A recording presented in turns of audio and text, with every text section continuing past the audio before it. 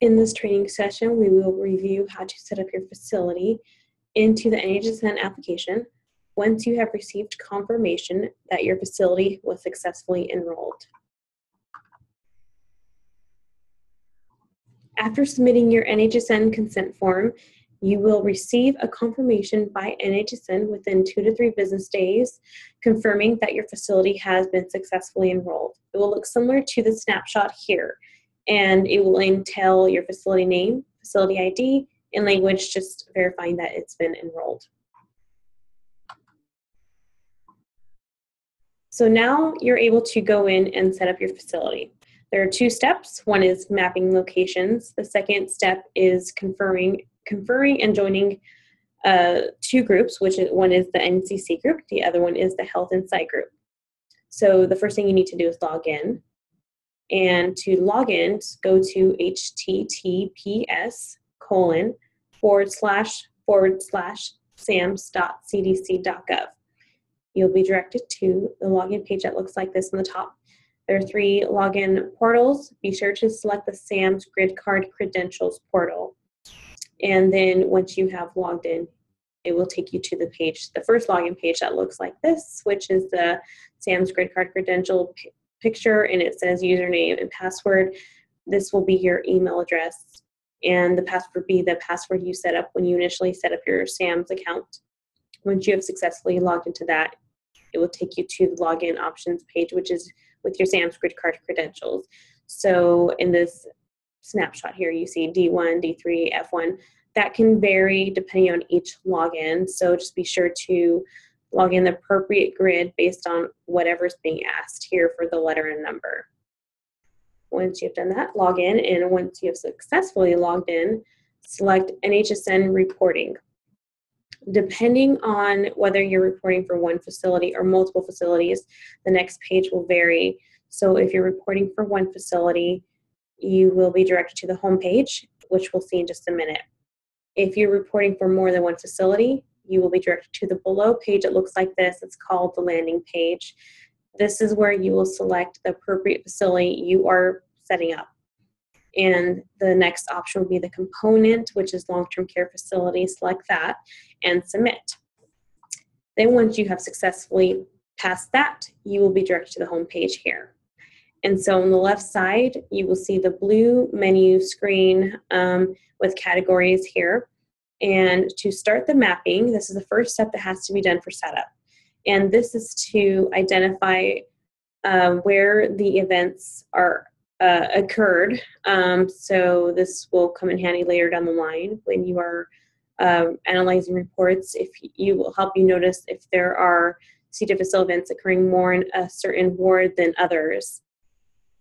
And so to do that, you go to facility, locations, and here you are directed to your locations page. And so you, you're going to code, or uh, I should say, map each location individually. So when I say locations, I'm referring to wards or units. The reason why I'm using the word locations is because NHSN uses that word here, but it's the ward, the ward or the units that your facility um, has. And you will do this for each individual ward or a unit or location. So your code is usually what the facility currently calls the location. So, for example, one south, two west, one north, any of those or any other ones that you call the location is what you put there. It's free text. Your label is to help easily identify the location. So it can either be the same as your code, you can type it the exact same, or if you want to be a little more descriptive, you can do so. For example, if your code is one south and your label is dementia because the majority of the residents in that specific ward have dementia. Um, this will just come in handy down the line when you're trying to identify the location of where the specimen was collected for a positive C. difficile lab ID event.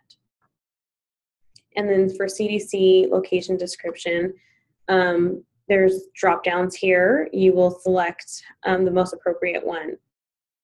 And so, as you see here, there's an example. This is a list that is located in this link here. So if you were to go to this link, there's uh, quite a bit of pages but you will go down to page 28 to 29, which applies to long-term care facility. All the other ones apply to different location settings. So you want to go down to page 28 if you want to get a better description of these specific drop downs, what they mean to help you identify the proper mapping. So once you have passed that and you're ready to do the status, it should always be active because you're only mapping active locations. The bed size is the amount of beds that are currently available for that specific ward. And once you have completed these categories, you will select add, and then you will notice that ward that you've added um, drop down on a table here in the bottom.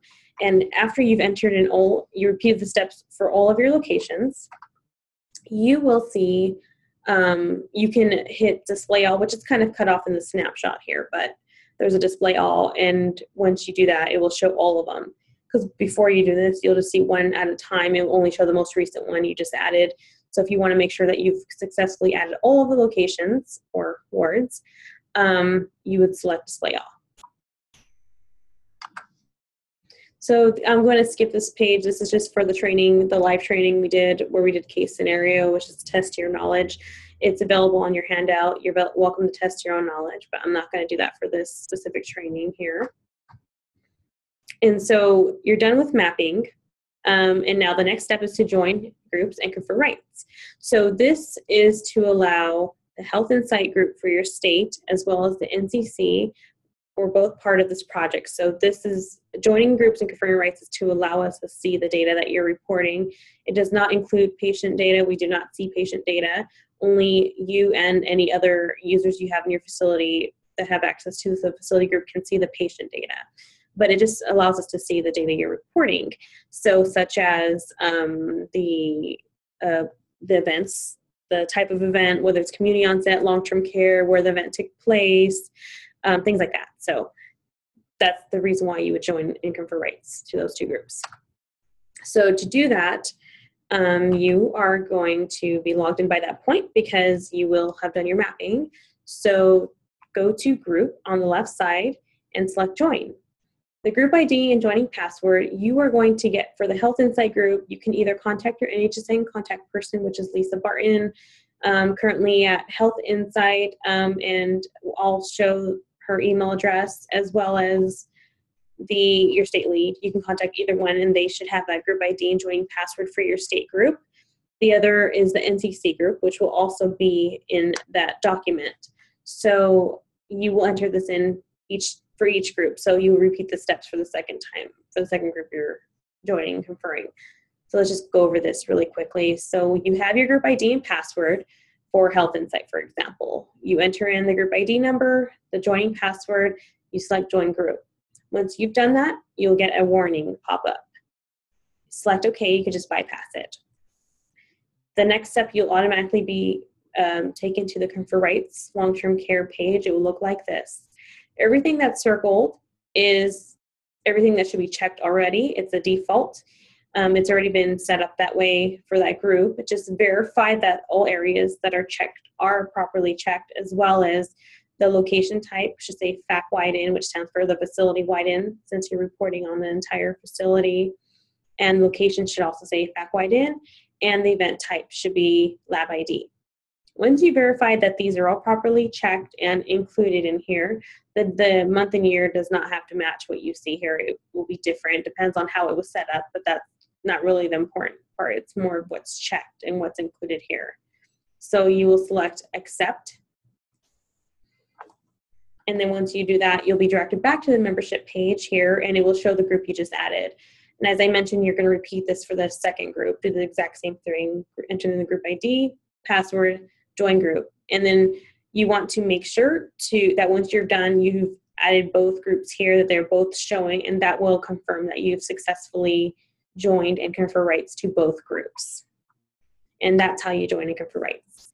Um, so that's basically all there is to setting up. It's only two steps. And here's the contact information. As I mentioned, NHSN contact person's Lisa Barton. That's her email address. State leads, New Mexico for Shannon Kupka, Nevada's Donna Thorson, Oregon's Leah Brandis, Utah's Michelle Carson. You can contact any one of these email addresses to get help with any part of your NHSN setup. And here's some references and resources also available on your handout. Um, you will see the login page here, the training recordings, just a link to that, and as well as the mapping uh, page I was telling you about for pages 20 to 29 that has the the uh, definitions for the mapping. Then you can go to that link there, and here's some contact information for NHSN and SAMS. So that's all there is to this training. Thank you.